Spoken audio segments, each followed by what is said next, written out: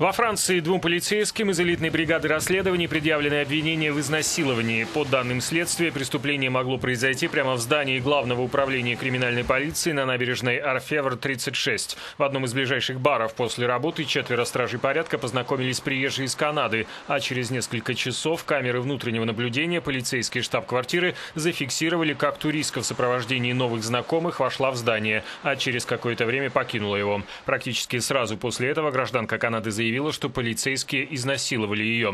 К тому же сам факт посещения посторонней, одного из самых охраняемых объектов французской столицы, является серьезным правонарушением. К настоящему моменту один из четырех полицейских признал, что имел сексуальный контакт с приезжей, однако он отвергает обвинение в изнасиловании.